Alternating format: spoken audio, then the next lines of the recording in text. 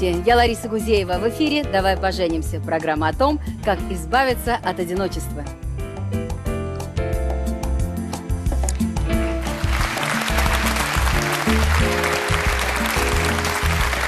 Первыми Новый год встречают на Востоке. В поисках новой любви, нового счастья к нам приехал жених из Японии, за которого будут бороться три невесты. Это Евгения. Ей нравится семейный уклад, в котором главное – подчинение и взаимоуважение. Юлия, она уверена, что если у мужа будут трудности с работой, она возьмет заботу о семье на себя. И Елена, которая считает, что главное в семье тот, кто больше зарабатывает. Итак, я хочу представить вам нашего жениха. Это Юичи Хирама, японец, который решил искать жену в России. Давайте посмотрим. Юичи, 42 года. Был влюблен в девушку из России. Они должны были пожениться, но она погибла в автомобильной катастрофе. Юичи живет в Японии, в Токио. У него высшее техническое образование. Он начальник подстанции в токийском метро. Любит работу и доволен своим заработком. Финансами в его семье распоряжается мама. Он живет с ней, отцом и младшей сестрой. Юичи увлекается спортом, рыбалкой и сноубордом. Но главная его страсть – это Россия.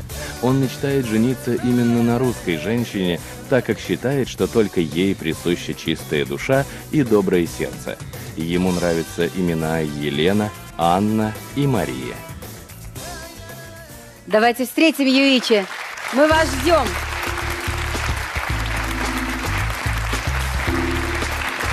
Здравствуйте.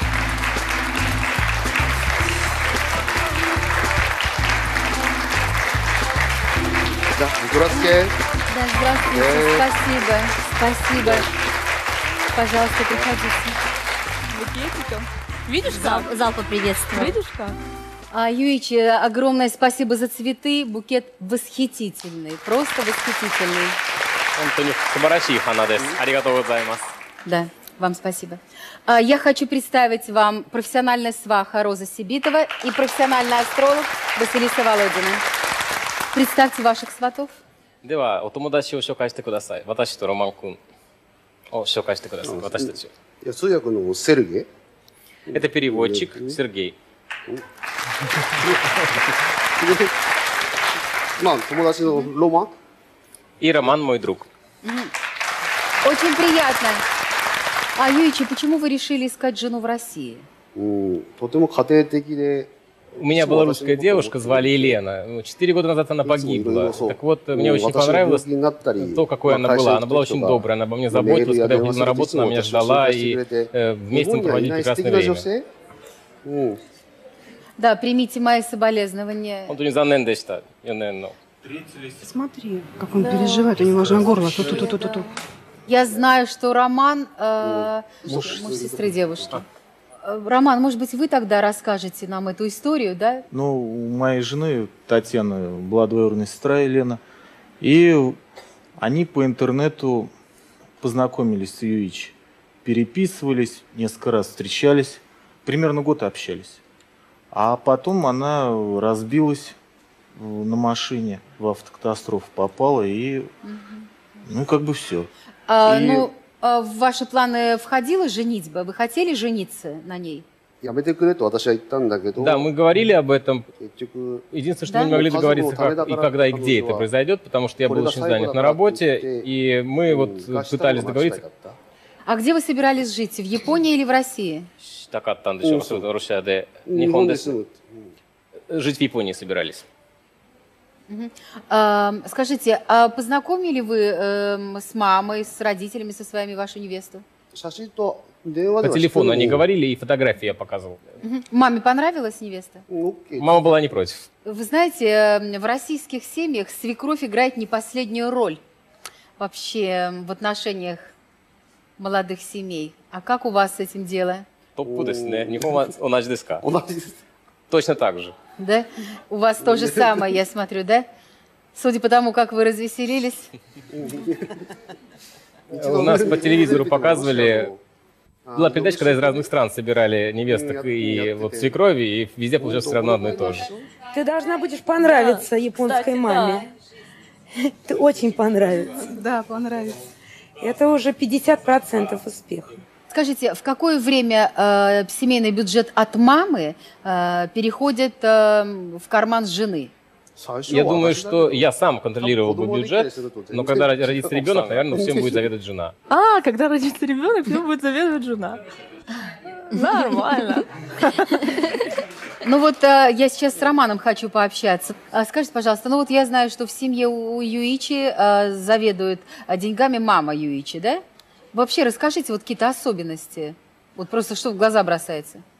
Ну, вообще, деньгами Юичи, они, в принципе, у Юичи. Но мама там играет э, все равно одну очень ведущую роль, потому что если мама захотела какой-то подарок, даже дорогой подарок, Юич спешит и покупает. А к жене он также будет спешить покупать? Я думаю, да. Он очень серьезно ее ищет, жену, очень серьезно. И готов подарки Ну, вы смотрите, но ведь Юичи же уже знакомился с русскими девушками, и они с огромной готовностью принимали подарки, деньги от него, но замуж-то не торопились. Ну, там не Может то, быть, что стоит торопились. открыть глаза Юичи? Некоторые просто пропадали даже. Было дело, что он подарил э, Колье. колье бриллиантовое. Ну, там, Сумасшедший. да. И, и пропало. Слушайте, а может быть, вы все-таки э, откроете глаза э, вашему другу и скажете, что здесь, ну, не все золото, что блестит. Но повезло с первой русской девушкой, но на самом деле это не норма, не факт. Ну, объясняли. Объясняли это все, говорили ему. Он, конечно, стал более осторожен, и он намного больше стал доверять мне и моей жене, как бы, чтобы мы смотрели. Между прочим, Потратил правильно, себя. правильно сделал выбор в пользу, Потратил в пользу России, потому что Да, здесь самые лучшие девушки. да. Я еще, когда была девушкой юной, слышала одну байку, одну историю, одну легенду, как в Японии воспитывают детей. Что там до пяти лет он царь, до десяти лет он там еще что-то. То есть ему позволено абсолютно все, и потом он э, где-то лет с 12 только начинают заниматься уже э, воспитанием, ну, в смысле запрета, наказания и так далее. Правда ли это? Саша Карашинская. Саша Карашинская. Нет, нас воспитывают сначала строго. Ну, чай город. С маленьких лет. Э, правда, вот да, наказывают? Скажите, ну какое ну, да. для вас было самое вот э, э, самое страшное наказание в детстве? Кини цирусаремашта. Меня даже к дереву подвешивали. А за что? 何をしてですか自分が何をしてかしたんですか庭で焚き火ちっちゃい頃 Костер разжег во дворе, а мне сказали それ нельзя. はダメだって Меня мама воспитывала очень строго, и что? Ну, я думаю, что она... Тебе, я думаю, что это не повредило. А как вы эм, э, собираетесь воспитывать э, вот ваших совместных детей? あんまり口出すとね Мы можем о чем-то не договориться, поэтому сначала пусть жена сама воспитывает, как знает. Я не буду вмешиваться. Скажите, э, женщина должна будет соблюдать какие-то ваши традиции обязательно? У нас не так уж и много осталось таких железных традиций. Есть просто дни, когда, например, нельзя там свадьбы проводить, или дни, когда нельзя убираться. Вот если это она будет соблюдать, этого достаточно. Но язык она должна будет обязательно выучить японский? Я слышал, что русские, когда приезжают в Японию, они выучивают разговорный язык за 2-3 месяца. Конечно, чтобы выучить иероглифы, надо 2-3 года, может быть, но я уж не знаю почему, такие ли умные все русские девушки, но они очень быстро выучивают японский. Я думаю, Женя, что после того, как ты изучала английский, немецкий, да я не изучала. Японский для тебя не Это составит, не составит труда. труда. Скажите, пожалуйста, вас не смущает, если женщина, а, которая придет сегодня за вас бороться, уже имеет ребенка от предыдущих браков? Это совершенно нормально. Единственное, что тут, конечно, было бы хорошо, если бы жена понимала по-японски, потому что у нас много, конечно, всяких ну, заведений, там, где вот, ну, можно больницы, там, где можно детей э, помогать. Но если они будут понимать по-японски, придется с этим ребенком сложно в Японии. Да, спасибо. Ну все, теперь будем, наверное, смотреть на невест. Пожелания от Розы и Василисы. И... Да. Ну, э, что я могу пожелать? В любом случае, семья, счастливая семья – это правило. И э, если, конечно, правило не соблюдается, никакой э, семьи не будет. Вот я надеюсь, что наши невесты знают правила японской семьи. Почему? Потому что чтить их придется. Если нет, ничего не получится. Ну, я буду надеяться на то, что они это знают. Мы их заставим соблюдать наши правила. В гороскопе Юичи есть четкие показатели того, что он всегда поступал чуть-чуть не так, как все остальные. Вот такие мужчины, будучи российского гражданства, выбирают себе жен иностранок, ведут себя не так, как все. Ну, поэтому для него, естественно, приехать за русской женой. Ему понравятся девушки яркие, воинственные, я бы сказала, женщина-самурай. Но то, что с точки зрения японца женщина-самурай, дерзкая, бросающая вызов, с точки зрения русских женщин, это очень-очень тихий, скромный вариант на самом деле. Поэтому я призываю сегодня наших невест как раз такую тихую, скромную роль сыграть. А ты готова сидеть дома, не работать? Ждать, ждать, ждать мужа с работы. Нет, я хочу угождать заниматься чем-то еще другим. Просто сидеть дома, заниматься домом и ребенком мне бы не очень хотелось. Мне хотелось бы еще чем-то другим заниматься. И у меня последний вопрос, который меня тревожит просто неимоверно. Юичи-сан, я знаю, что японские мужчины очень много работают, по много часов в день. Рабочий день очень длинный. И очень часто в пятницу за чашечкой саке просиживают офисные работники, и жена в пятницу вечером получает нетранспортабельного мужа, а то и в субботу утром.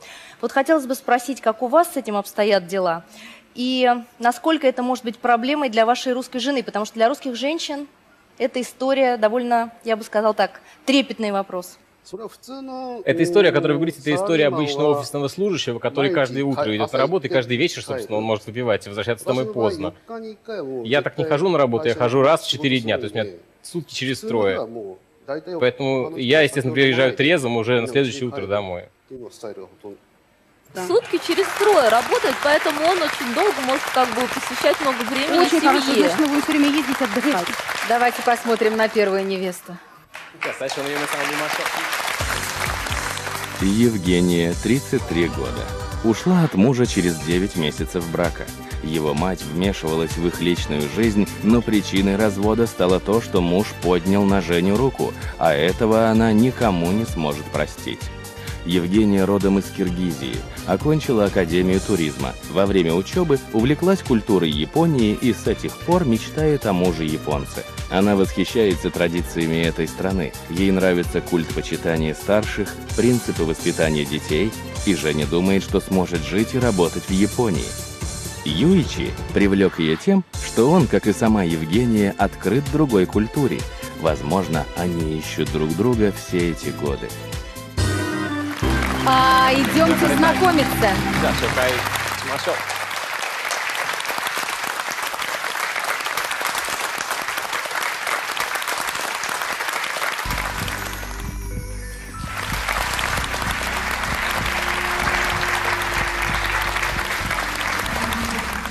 Здравствуйте. Здравствуйте.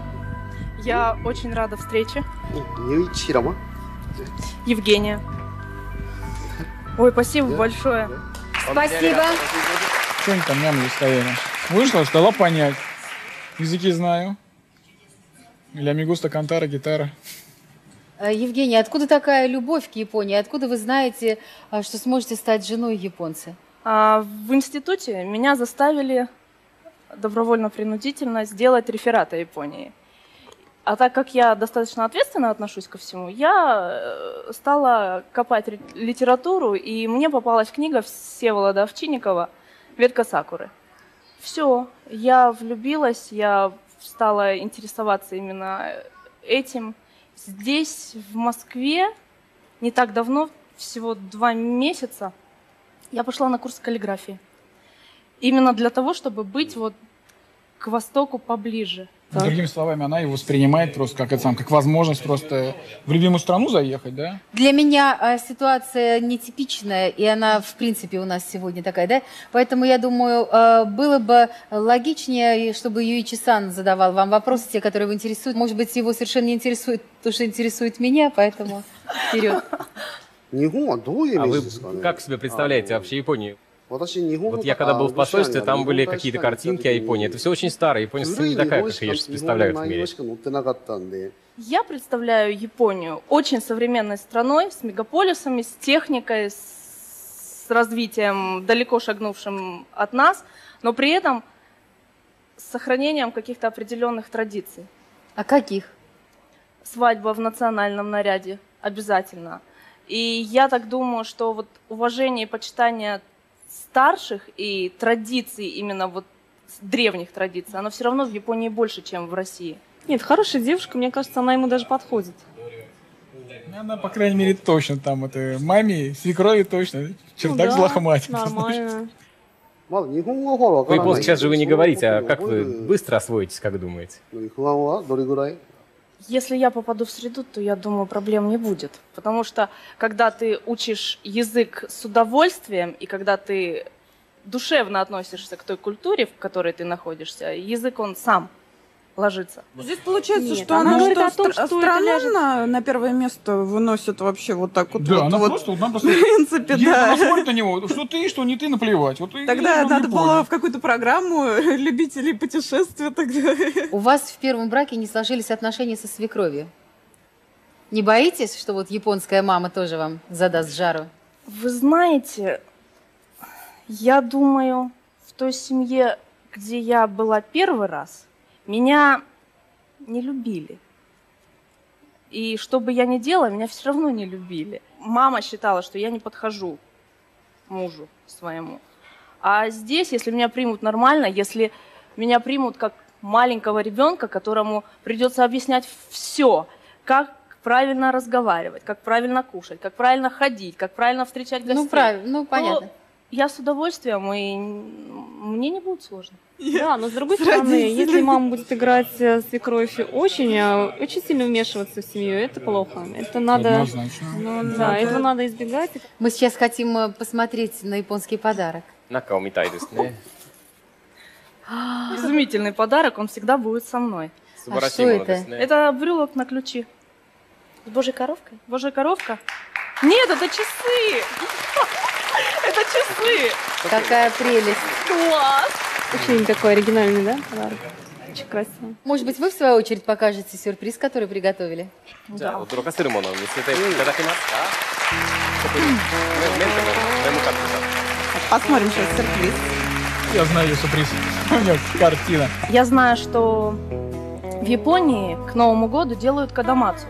Вы не могли бы рассказать мне, что значит каждый из символов вот в этом кадамат? Кадо га тацу. То кое. Эту вещь ставят в прихожей или около входа в дом, на углу около входа в дом. Э, Ее смысл основной в том, чтобы она хорошее в дом пускала, а плохое изгоняла. Когда я готовила подарок, я рисовала пион с с пожеланием благополучия и удачи в жизни и в семье. Спасибо. Пожалуйста.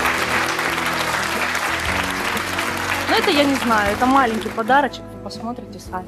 Чисто нам Спасибо. Спасибо. Спасибо, спасибо. Девочки, отправляйтесь в свою комнату и ждите там решения.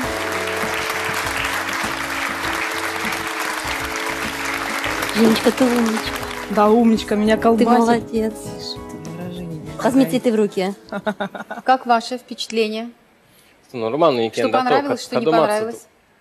今残念だけど門松、今お金持ちしか使えない Меня это немножко, э, ну, не напрягло, а мне так показалось странно, что сейчас дело в том, что кадумацу только очень богатые люди в Японии ставят. Что это необычно, сейчас- вот эти кадумацу, эту сосну, которую вот она подарила, это только у богачей такое осталось. Обычно люди не могут себе позволить. Мгм. А вы знаете, что мне эм, показалось удивительным? Э, Нормально, что человек хочет выйти замуж э, за японца. Но у нас же тоже есть какие-то традиции. И э, мне показалось, что вот этой самой Японии слишком много. Ведь Юичи-сан приехал в Россию за российской девушкой. Но неужели э, у российской девушки нет ничего такого, чтобы показать, представить свою страну? Могла бы спеть, танцевать что-нибудь русское, не знаю, выйти в кокошники, подарить какую-нибудь матрешку русскую, ну, пирожков бы напекла русских бы, не знаю. Вот когда выйдет замуж, тогда испечешь ему русских пирожков. Не, ну если мы будем ближе знакомы, я его и блинами, и пирогами напеку. Угощу.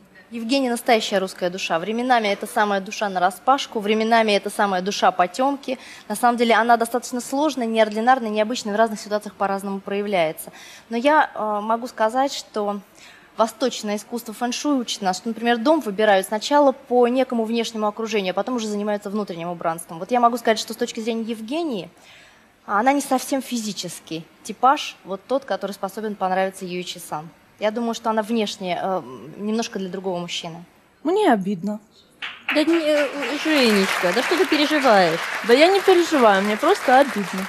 Через несколько минут нас ждет вторая встреча, не пропустите. Если вы хотите стать участником программы или услышать совет, как найти свою половину от Розы и Василисы, звоните с мобильного телефона на номер 0736. Оставайтесь с нами. В эфире «Давай поженимся» – это программа о том, как найти свою судьбу. У нас в студии жених из Японии. Он приехал за русской женой и уже познакомился с первой невестой. Давайте посмотрим на вторую. Юлия, 36 лет. Прожила три года на родине мужа, экспрессивного испанца. Он стал ревновать к каждому ее шагу, контролировал всегда и везде. Но основной причиной отъезда в Россию и разлуки с ним была тоска по родным и близким. У Юли два высших образования – медицинское и экономическое. Работает бухгалтером, занимается чирлидингом, владеет английским, немецким и испанским языками. Юля мечтает родить любимому мужчине троих детей. И первые три года жизни малышей не хотела бы работать, чтобы полностью посвятить себя их воспитанию. Юичи показался ей необычным мужчиной, а она любит разгадывать загадки. Да, идемте знакомиться.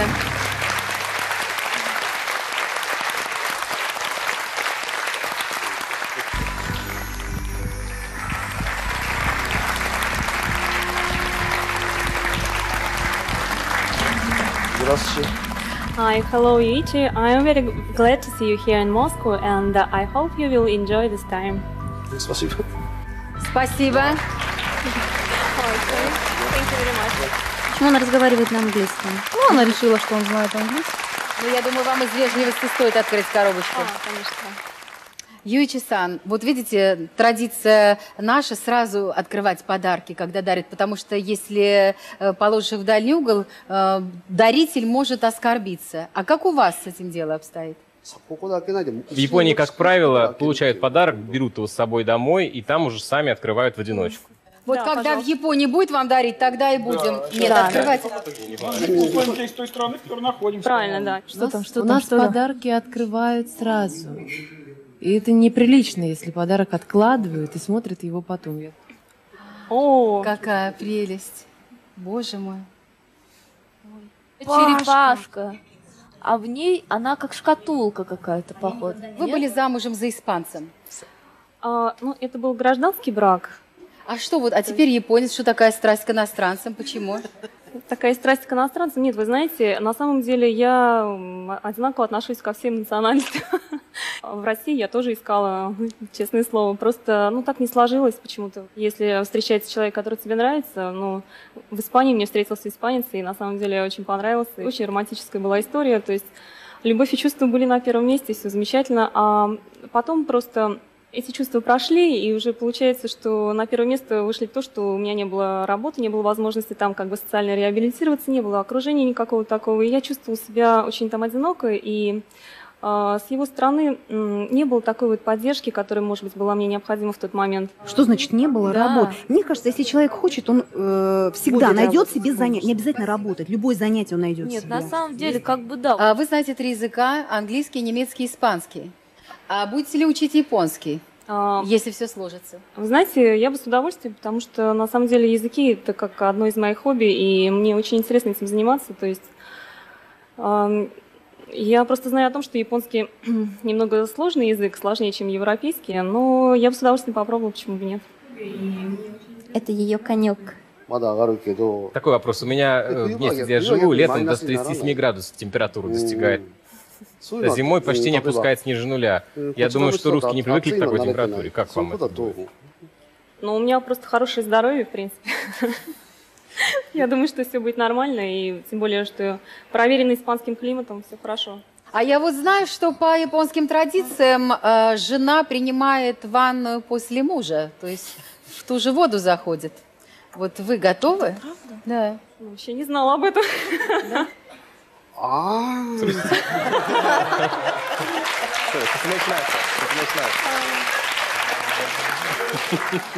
Лома?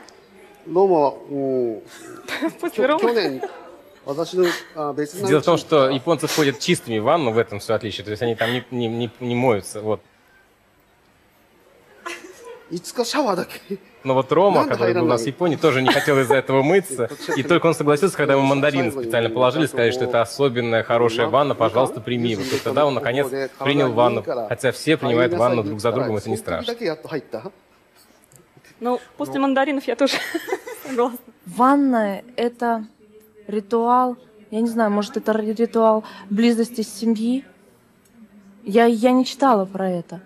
Но я не думаю, что прям он поработал кочегаром, а потом в этой ванной помылся, а потом мне придется мыть. Юлечка, я знаю, что вам нужно пойти для сюрприза переодеться, да? Да, если можно. Поэтому вы забираете подарки, идите переодевайтесь, а мы немножко пообщаемся. Да, хорошо. Какой она сюрприз приготовила? Она танцевать сейчас будет. Вот, э, в принципе, да, просто у нас есть минимум информации о вас. Э, как бы нам известно только то, что вы проживаете вместе с мамой и с младшей сестрой. Как вы думаете, что вот мама ваша будет мириться с еще одной хозяйкой? Или все-таки вам придется строго разграничить? Мама – это мама, а моя семья – это моя семья.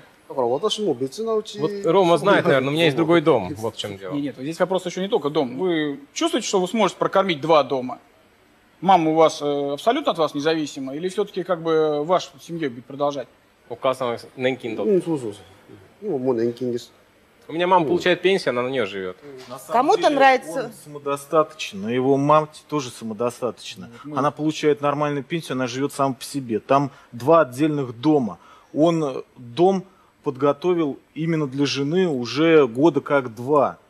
И и он готов к тому, что он живет отдельно. Мать при том, что он ее уважает и делает ей абсолютно подарки, она его воспринимает тоже с уважением. И я думаю, если мать у него мудрая женщина, и она примет выбор сына, то почему нет? Готовы посмотреть сюрприз? Да, сюрприз немножко.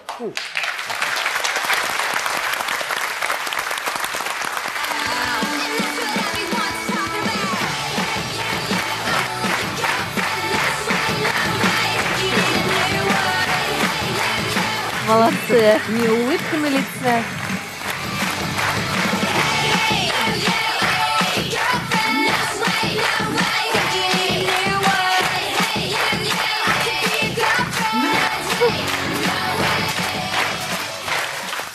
Спасибо. Три-четыре. Спасибо, девочки. Ю, и, чи. Спасибо. Спасибо. Вы можете подождать в своей комнате решения, и вы тоже. Юичи Сана.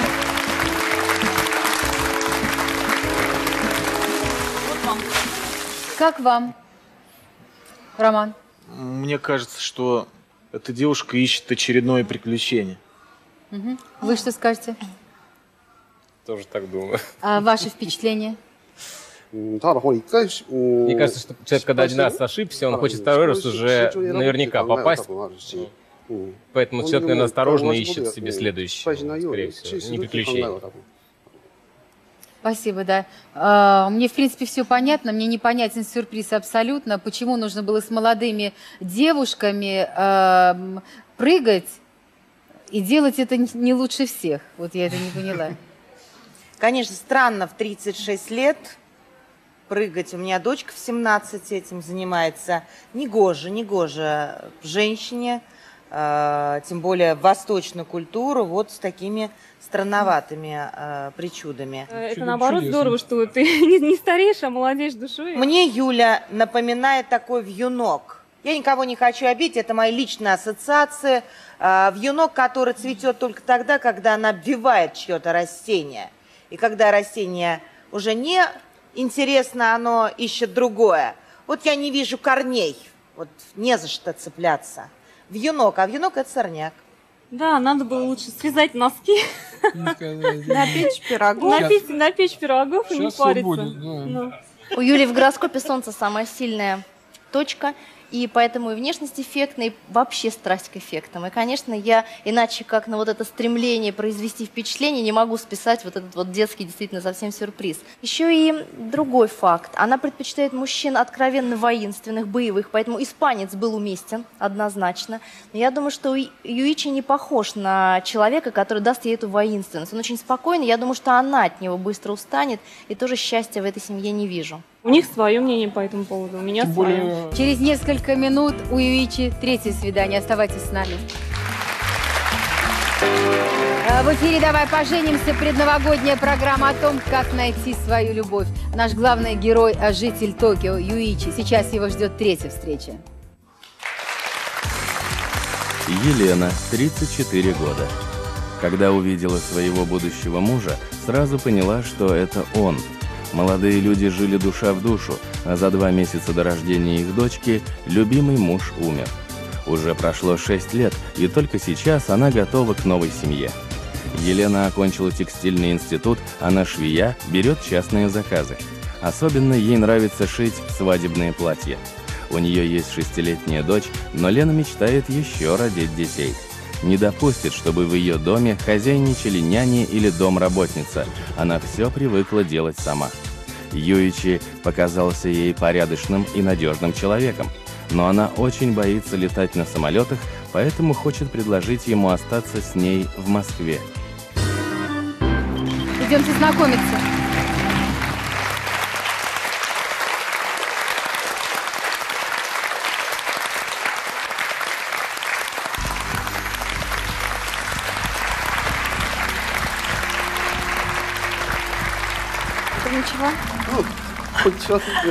Здравствуйте, меня зовут Лена. Здравствуйте. Очень приятно. А, Хирама дес. Спасибо. Спасибо. Спасибо большое. Сколько ей лет? Я не знаю, я прослушаю. Ну, по какой традиции сейчас будем существовать в первые две минуты? По-японски или по-русски? Будем открывать подарок или потом? А я спрошу, можно ли мне открыть этот Меня подарок? спросите. Если мне разрешат открыть этот подарок здесь, в студии, то я открою. Если нет, то я его открою дома и посмотрю одна дома. もし開けていいと言われたら今開けます。もしダメだったら家でちゃんと日本らしく開けます。можно? Юичи дают разрешение, да? Тогда Какая открываем. хитрая. Открываем. Он разрешит. Разрешил. Так она, видишь, она спросила разрешения у мужчины. Вау. Да, Спасибо. красиво. Очень красиво.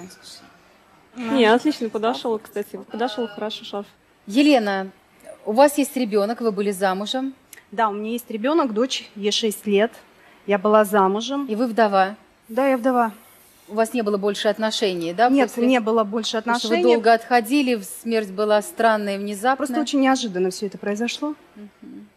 Поэтому и просто не до этого было маленький ребенок на руках, просто было не до мужчин. Скажем так, у меня в голове были другие планы, как дальше существовать, жить, поднимать ребенка на ноги и все остальное. А, Скажите, а желание дочери будет учитываться, если ей не захочется уезжать От бабушек в чужую страну? Будет учитываться. Я думаю, наверное, надо будет сразу ставить отношения так, чтобы когда человек пришел либо к нам в дом, либо мы к нему, но чтобы мне бы хотелось, чтобы мы все вместе были как единая семья. Обязательно будет учитываться и ее мнение. Но у меня такой ребенок, он очень тоже такая гибкая девочка, очень такая веселая, поэтому с ней найти язык можно общий вообще легко. С ней трудностей в этом плане не будет. А как он усыновлять будет ребенка? Ребенок будет японцем, а она будет Нет, русской? ребенок не будет японцем. Тоже. У него, наверное, тоже будет гражданство российское. А как же вы туда э, полетите-то, если у вас дикий страх высоты и вы боитесь летать? Ну, есть другой вариант. Чтобы Ючи, например, приехал сюда и остался здесь. Почему бы и нет? И. Тем более ему нравится. Метро у нас есть. Русские Точно. девушки ему нравятся. Я не поняла, он согласен или нет? Я думаю, нет. Юичи-сан, вот посмотрите, у вас может быть приемный ребенок, приемная дочь. Вот какие у вас традиции в смысле воспитания с приемными детьми? Как вы будете выстраивать взаимоотношения? Никаких проблем с тем, что ребенок принимает семью в Японии никогда не было и нет, но проблема бывает и в том, что когда приезжает ребенок и с ним приезжает мама, уже взрослая, то ребенок очень быстро цепляет язык, а мама не успевает за ним, и между ним возникает как бы такой разрыв. Они Нет, я разделяются. хотела наоборот сказать, что это огромный плюс, потому что ребенок быстро адаптируется и выучит язык, и ребенку родному, маме помочь гораздо легче, чем ходить на какие-то курсы Да, и все время задавать глупые вопросы свекрови. Как-то раз ребенок здесь может быть то звено, которое их э, в этой ситуации сблизит. Дело же не в языке, не в национальности, если так подойдет. Юичи-сан, есть различия в воспитании девочек и мальчиков? ところで付き合い方が変わるからその辺が難しいんじゃないかと思う Мне кажется, девочек с какого-то момента гораздо сложнее становится воспитывать. Мальчиков достаточно всегда одинаково как бы воспитываешь, а девочек надо очень сложно подстраиваться. Они растут и становятся другие. Девочек сложнее воспитывать в Японии. Да, девочек действительно воспитывать сложнее. В принципе, у вас есть возможность сейчас задать какие-то друг другу вопросы, и мне понятно все. Например, я, ну, как бы я считаю, что просто сидеть дома и заниматься одним домом, воспитанием детей и э, мужем, ну, надо все равно заниматься еще собой. То есть э, должно быть либо хобби какое-то, либо какое-то увлечение для себя, потому что так, мне кажется, будет очень скучно сидеть просто дома. Будете шить кимоно. ひらがな、カタカナ話せるじゃなくて、 в Японии это не только русских касается, а всех иностранцев, что если вы хотя бы несколько иероглифов там не знаете простых, то вы даже не получите по, сви- по часовика работу, вас просто никто не сможет нанять. Она будет дома сидеть и шить. А, если нет гражданства, значит тебе не дадут работу? Если ты не знаешь языка. А, не знаешь языка. その時例えば子供がそうん外で問題 Я, как уже говорил, работаю сутки через трое. Вот эти сутки меня нет вообще дома, и я на работе недоступен. Вот, допустим, что-то случается, там у вас какая-то проблема возникает там с ребенком где-то в городе. Что вы делали бы? Вы не можете до меня достучаться, дозвониться, ничто, не, не можете. Как вы будете реагировать? По возможности будем сами как-то решать эту проблему. Русские женщины очень самостоятельные. У нее муж умер, она ребенка поднимала. Нет, она молодец, хорошая Ну что, и девчонка, она в принципе. просто, видишь, такая, она... Покажите сюрприз. Да, сапрайз, мы с этим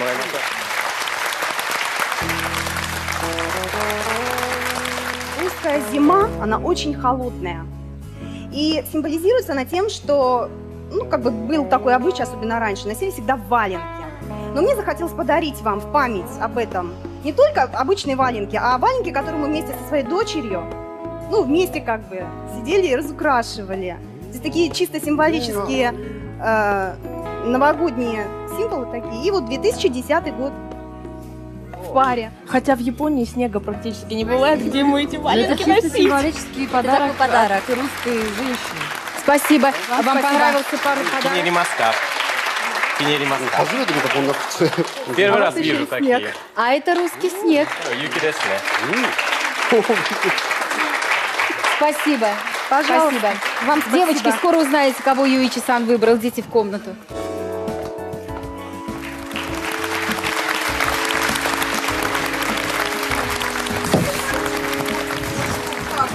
По-моему, ты ему очень А мне понравилась. кажется, нет. Что вы скажете, как вам, Елена? Очень трогает, э, трогательно то, что вот она это сделала сама специально, очень здорово. Вы знаете, мне очень понравилась Елена. Вот я за нее абсолютно спокойна. Я понимаю, что она выживет и на Северном полюсе, и в Японии. Я понимаю, что она очень сознательно эм, вот, э, будет готовиться к этому шагу. И она сто раз подумает, прежде чем что-то сделать. И если уж она сюда пришла бороться за Юичи, значит, она, эм, знаете, как вот говорят русские, 10 раз отмерь, один раз отрежь. Вот она это сделала. Не спонтанно и очень достойно себя вела. С таким достоинством. Просто молодец. 10 баллов. Права.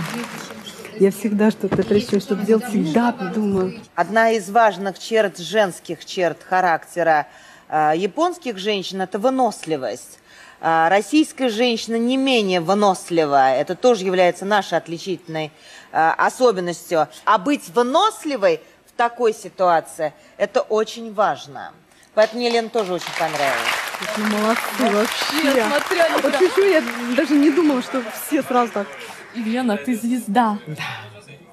Я горжусь. Я как раз считаю, что Елена абсолютно физически ваш типаж. Вот те, э, тот тип женщин, который вам нравится и подходит.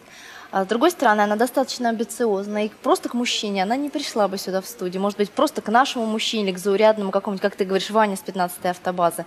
Она выбрала человека, который в ее кругах способен достаточно высоко цениться. Амбиции тут присутствуют. Меня смущает единственный фактор – наличие маленькой девочки, которую сейчас, э, возможно, помимо ее воли, особо не спросясь, увезут от родственников. Вот, пожалуй, это единственное, что я бы советовала Лене взвесить хорошенько и подумать, не делать никаких скоропалительных решений. Например, очень быстро не выходить замуж. Просто пока пообщаться, пусть дистанционно, и понять, насколько эти отношения сложатся или не сложатся, и спросить дочку. Сначала попробуйте, там будет видно, что что как. И зачем бежать вперед паровоза? Кого из трех невест выберет э, Юичи, мы узнаем через несколько мгновений. Если вы хотите стать участником программы или услышать совет, как найти свою половину от Розы и Василисы, звоните с мобильного телефона на номер 0736 и оставайтесь с нами. В эфире «Давай поженимся» – это программа о том, как найти свою судьбу. Юичи познакомился с тремя замечательными девушками. Кого из них он выберет, узнаем прямо сейчас. Юичи, скажите какие-то слова о девушках, которые за вас боролись. Я очень благодарен всем трем за то, что они старались, за то, что они что-то придумывали, и что они вот пришли, и для меня это вот что-то делали. Я очень благодарен. Большое спасибо. А он сейчас конкретно ничего не скажет. Ну, пусть не конкретно, но хотя бы посмотреть по реакции. Говорят, что женщина – это приглашение к счастью. И мне приятно, я горда тем, что за счастьем даже едут к нам японские мужчины. Конечно, я думаю, что именно Елена может стать тем приглашением э, к счастливой семейной жизни. Я за Елену. Основном про меня говорят. Во всех странах, э, в которых астрология издревле развивалась, а Япония тоже относится к такой стране, а подбор даты брака и времени вообще брака – это тоже такая привилегия астрологов почетная. Я тоже за Елену, как и все вы, но хотела бы еще раз пожелать не торопиться с браком. Мне кажется, что то, что я вижу в гороскопе Елены, мне явно свидетельствует о том, что вам нужно пообщаться еще какое-то время. Может быть год, может быть даже чуть больше. Пускай это будет общение тесное или дистанционное, но именно с регистрацией брака я бы пока не спешила. Ну, пока никто и не торопится с регистрацией вообще. ЗАГС сразу никто не бежит. Юичи-сан, слушайте свое сердце. Идите туда, куда он вас позовет. Мы вас поддержим. 心が心が呼ぶ方向へどうぞ好きなドアにとりあえず3番でしょうですよね多分 Внимание, найдите себе пару среди тех, кого вы сейчас увидите на экране. Если вас заинтересовал один из них, отправьте смс с номером участника на номер 4 четверки. Дарья, 23 года, номер 717. Педагог. Занимается восточными танцами, любит побаловать домашних вкусными блюдами. Считает, что у супругов интересы могут быть разными, но цели должны быть одни. Ради любимого человека готова стать идеальной. Она ждет настоящей страстной любви, счастья, о котором хочется кричать. Ее мужчина должен быть добрым и способным на решительные действия. Анна, 24 года, номер 718. Уверена в себе и полна положительных эмоций. Ее страсть – латиноамериканские танцы и хорошая музыка. Для полного счастья недостает лишь любимого человека, сильного духом и телом, который никогда не позволит себе командный тон в отношении женщины. Мы не знаем, выйдет Юичи-сан один или с невестой. Я приглашаю всех выйти из комнаты поддержать их.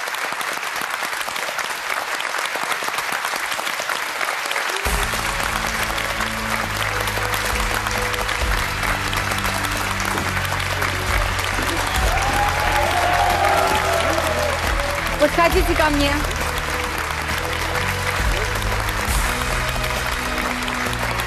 Вставайте здесь рядом.